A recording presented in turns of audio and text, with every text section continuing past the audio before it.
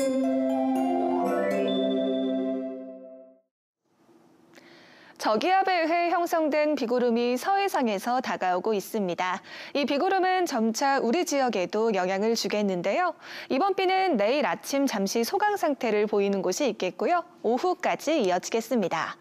예상되는 강수량은 내일까지 우리 지역에 5에서 20mm 정도고요. 내일 오전부터 낮 사이 대기가 무척 불안정해지면서 곳곳으로 돌풍과 함께 천둥 번개가 치는 곳이 있겠습니다.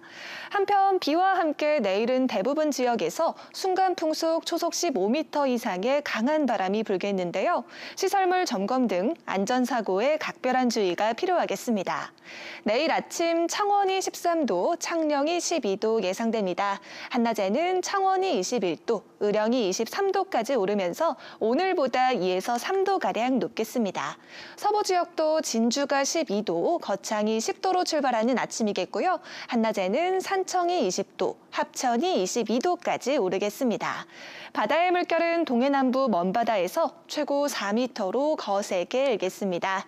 비는 내일 오후 사이 대부분 그치겠고요. 비가 그치고 난 뒤 당분간 기온이 크게 올라 다소 덥게도 느껴지겠습니다. 날씨였습니다. 7시 뉴스 마칩니다. 오늘도 시청해주셔서 고맙습니다.